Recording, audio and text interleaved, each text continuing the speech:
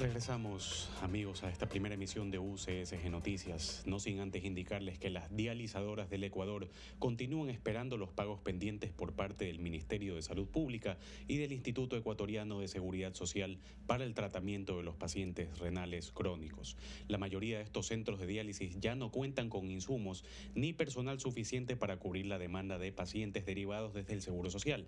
En este sentido, vamos a dar inicio a nuestra segunda entrevista el día de hoy, en este caso con la licenciada Cristina Freire, quien es vocera de los centros de diálisis del Ecuador.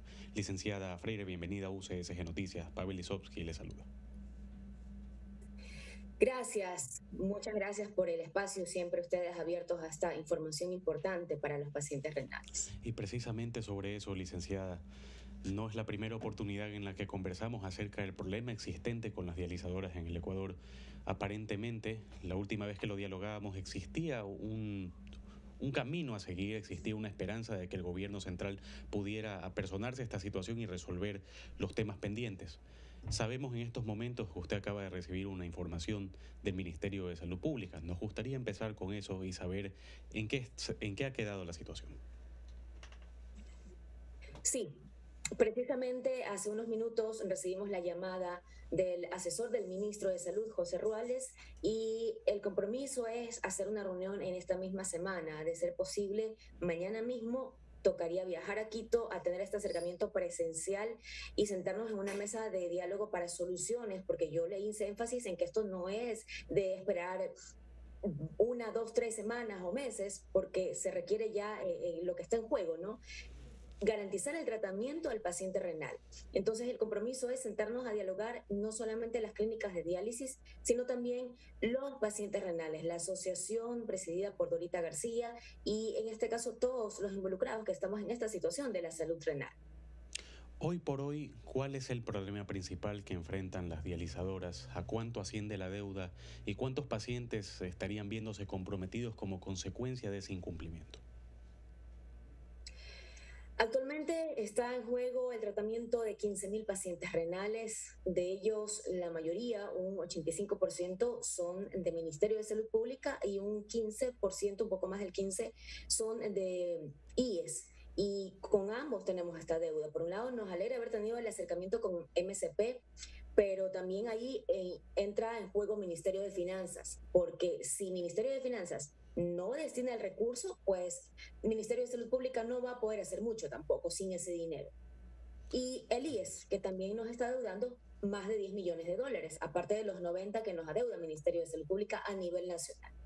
¿Cuál podría ser el punto de partida para un compromiso mutuo de tal manera que pueda continuar la atención a los pacientes con diálisis y otras enfermedades renales eh, crónicas versus pues, suplir la carencia y el déficit financiero que está existiendo en estos momentos a nivel de las dializadoras?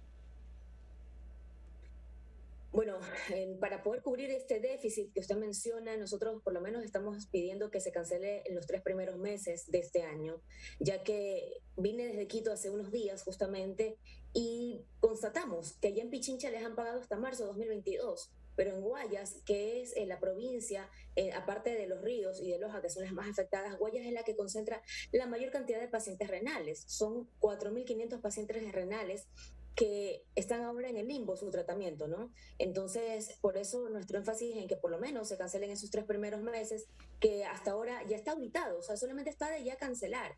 Ministerio de Salud Pública ha auditado ya hasta mayo de 2022, pero no hay el pago todavía de ninguno de esos meses, que eso corresponde ya a la asignación presupuestaria del Ministerio de Finanzas. ¿Qué puede haber motivado que en este caso la ciudad de Guayaquil, pues, y la provincia del Guayas, no haya sido adjudicado este recurso? Bueno, nosotros creemos que realmente es la voluntad política, porque esto no es algo nuevo, ya se sabe que aquí es donde está la mayor cantidad de pacientes renales. Lastimosamente vemos que no se agilitan por parte de las autoridades y cambian también constantemente. Tanto en IES es donde más bailan las, autoridades. Eh, es un vaivén de autoridades, ¿no? Y en este caso, acá en el Ministerio de Salud Pública tampoco es la excepción. No cambian tan seguido como IES, pero sí ahora tenemos una nueva coordinadora, ya habíamos tenido conversaciones con la anterior, con la nueva todavía no hemos tenido ese acercamiento, esa apertura.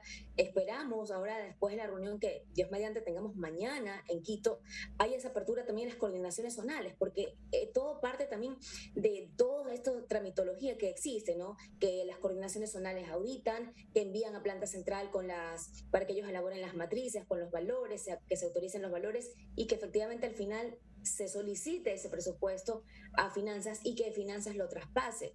Entonces, en la reunión que vamos a tener mañana, sí queremos dejar en claro eso, de que por más que haya esa voluntad, esas ganas, como nos dijeron vía telefónica, de poder solucionar este problema, el asunto es que realmente hay un compromiso de todos los actores involucrados, que en este caso también es el Ministerio de Finanzas. Si no, esto va a ser una simple reunión más y va a quedar, eh, sí, bueno, quedamos todo bonito, palabras, pero nosotros necesitamos hechos, que ya se cumpla y que ya este mismo mes, después de ser posible, el máximo la próxima semana, porque esta semana ya está feneciendo.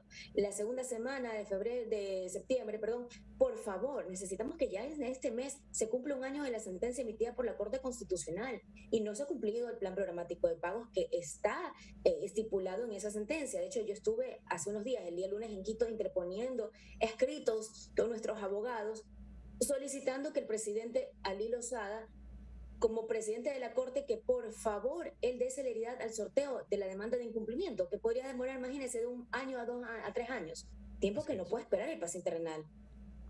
Correcto.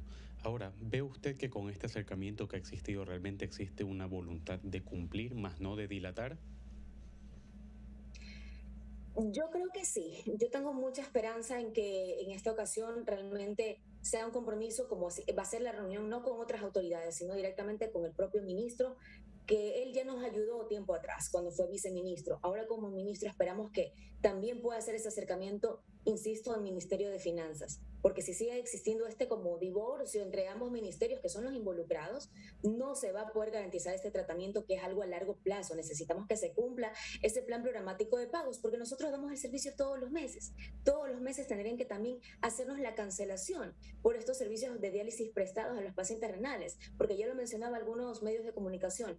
Si ellos llegan a quedarse sin sus diálisis, no fallecen enseguida, pero si de 20 a 25 años ellos podrían vivir, vivir teniendo calidad de vida, lastimosamente se reduciría a un promedio de entre 5 a 6 meses, dicho por los mismos nefrólogos, porque necesitan, necesitan para vivir. Son dos órganos que no les funcionan, los riñones, y no pueden esperar un año, tres años a que se sortee la causa de la demanda de incumplimiento o un mes, dos meses hasta que recién pidan las facturas. Y es otro trámite, piden facturas y de ahí hasta que se asignen los recursos, esperamos que se lo hagan enseguida. Licenciada Cristina Freire, vocera de los Centros de Diálisis del Ecuador, gracias por haber estado con nosotros en esta primera emisión de UCSG Noticias. Muy buenos días. Muchas gracias a ustedes también.